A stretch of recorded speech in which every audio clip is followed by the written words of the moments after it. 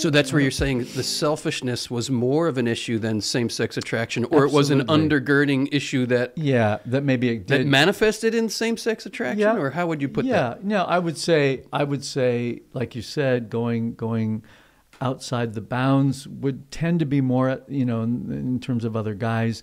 But I think it's more realizing I don't know if I've ever really loved somebody. I don't know if I've ever really offered myself to another.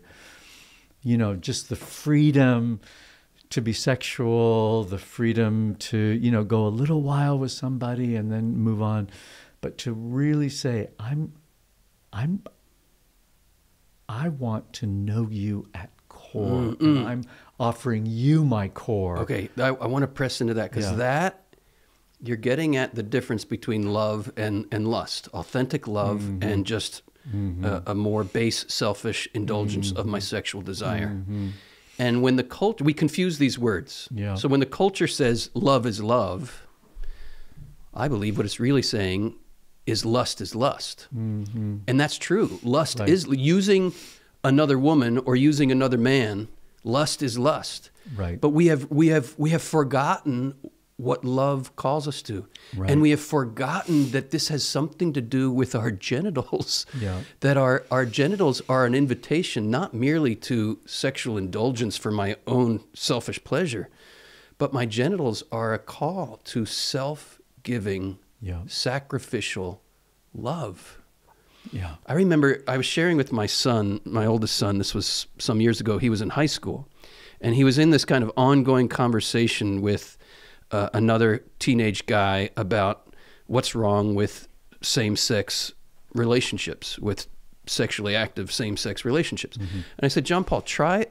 Try try this on him. Just just and we you know he, we were having a long ongoing conversation. This wasn't the first thing I said. Well, well, tell him this, but it was after he had had many conversations with this mm. guy, and I said, I said, John Paul, it comes down to what does ejaculation have to do with self sacrificial love? Mm. And really and truly, when you get down to it, the call to give one seed can only be sacrificial, an expression of sacrificial love, if one understands the meaning of that seed as the potential to bring another life into the world and to lay down your life for that life and for the mother who's bringing that child into the world through your seed. And and I said I said pose this question to him like just ask him what does in the final analysis what does ejaculation have to do with sac- sacrificial love? And this was an utterly foreign concept to this other mm-hmm. person that mm-hmm. that's that sexual that orgasm, that sexual pleasure, that ejaculation would have anything whatsoever to do with sacrificing myself for others. Because the whole programming of the culture is that's just for your own pleasure. This is this is the disconnect. Wow.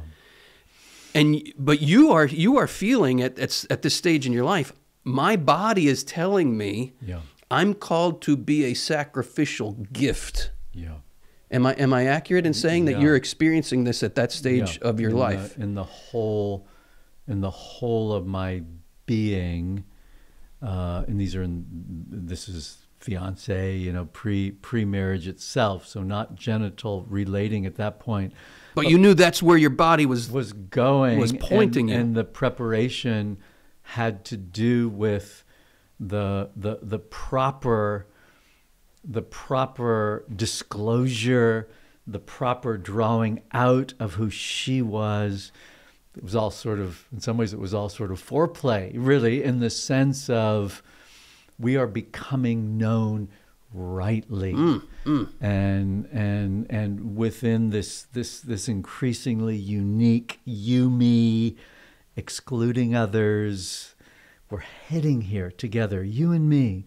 That was that was utterly new for me. Some people have had other relationships Yes, yes, and then they kind of compare well it wasn't like that relationship for me. There was something virginal about it. Beautiful. Oh, what a And, uh, perfect word. That's yeah. that's it was virginal, truly, and uh, and there was a there was a there was a beautiful grace of chastity Uh, I, I hope that chastity is still intact. But then there was there was a there was a beautiful self control, and at the same time a deep longing for her.